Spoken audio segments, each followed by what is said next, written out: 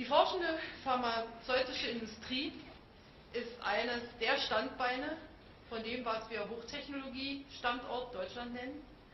Und ich will an dieser Stelle noch einmal in Erinnerung rufen, dass gerade die pharmazeutische Industrie auf langfristige, berechenbare Investitionsbedingungen angewiesen ist, genauso wie auf den Schutz des geistigen Eigentums, also vernünftige, einklagbare patentrechtliche Regelungen.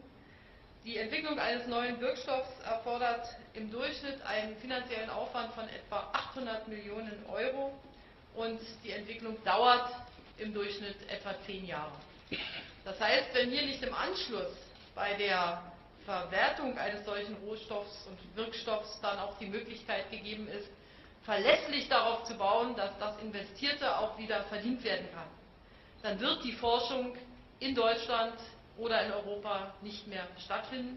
Und ich will hier für die Bundesregierung sagen, wir haben ein hohes Interesse daran, dass Deutschland nicht nur Produktionsstandort ist, sondern dass Deutschland auch ein guter Standort für die forschende Arzneimittelindustrie ist. Forschung ist die beste Medizin, das ist jetzt die Informationskampagne des Verbandes Forschender Arzneimittel und ich glaube, die Überschrift ist gut gewählt.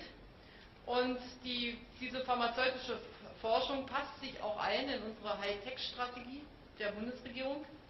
Wir haben zum ersten Mal sehr systematisch in 17 Sektoren eine Strategie entwickelt, die uns in den einzelnen Bereichen an die Spitze bringen kann oder uns an der Spitze halten kann.